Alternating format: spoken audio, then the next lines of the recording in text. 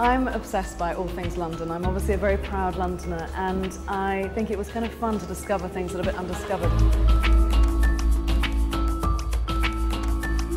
This is the old, disused, long abandoned underground station at Aldwych, the Strand. Um, so we thought it would be a fun place to show our quite London-centric collection. Being an accessories brand, we always put a lot of attention to our showroom because we don't actually do a runway show and so we put a lot of effort and, and, layers of detail into our presentation. You can probably see behind me all sorts of little mad kiosks, little postcards, little crazy sweet shops.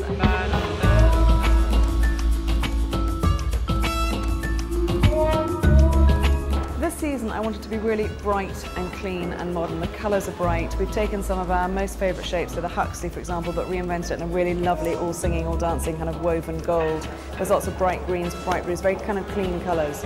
Um, but it's a very modern collection actually, very clean modern collection. All my favourite things.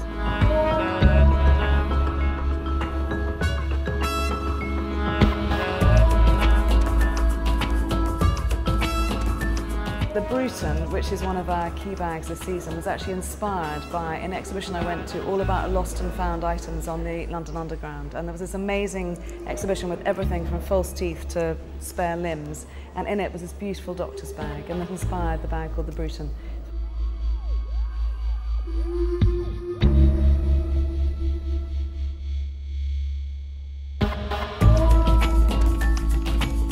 The Peephole collection is one of my favourites this season as well. It's incredibly light, very unstructured, um, and it has these wonderful eyelets down the sides. There's an element of sort of transparency and, and light to it, but it's just a very modern, very brightly coloured collection, very easy to wear.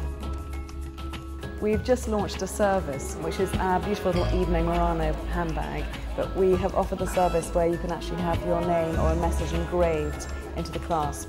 So you can write something funny or sweet or something a bit cheeky and it's just forever there and it's been uh, really popular. I've done them for girlfriends and we've done them for the Oscars actually, for the Oscar goodie bags and they've just been, they've gone on a storm so I think they'll be really popular.